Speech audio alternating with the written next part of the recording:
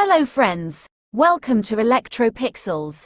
If you like our channel, please don't forget to like share subscribe and press the bell icon for getting further notification. Hello friends once again welcome back to Electropixels today in this video we are going to repair this 32-inch Impex LED TV that comes with the fault sound and backlight okay no picture problem.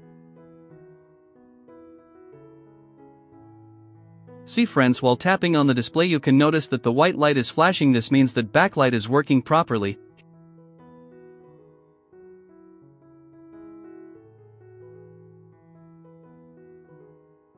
Here actually the complaint is with the TV display, as we discussed earlier these types of complaints are mainly due to internal shorting in gate signals inside the glass. Panel The shorting may be either from the right side or left side of the glass panel if both sides gate signals are then it's difficult to repair.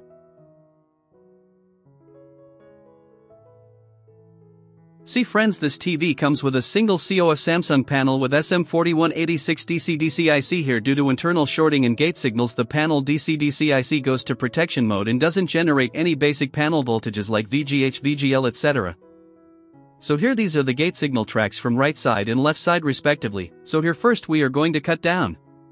The right side gate signals, after cutting right side gate signals if picture comes then do nothing, otherwise if complaint remains same then rejoin all the cut tracks from right side and cut down the left side tracks.